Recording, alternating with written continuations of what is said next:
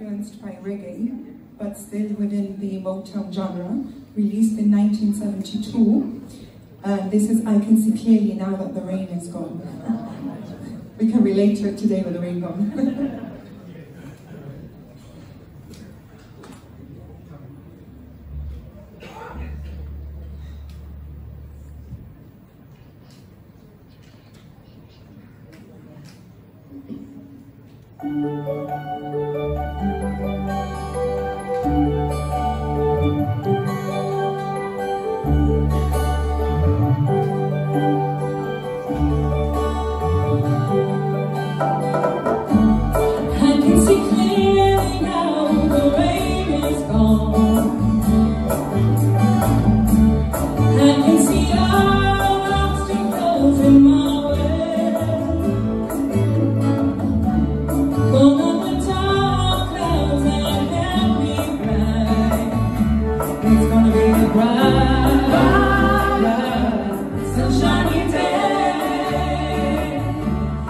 gonna be a bright, bright, yeah. sunshiny day.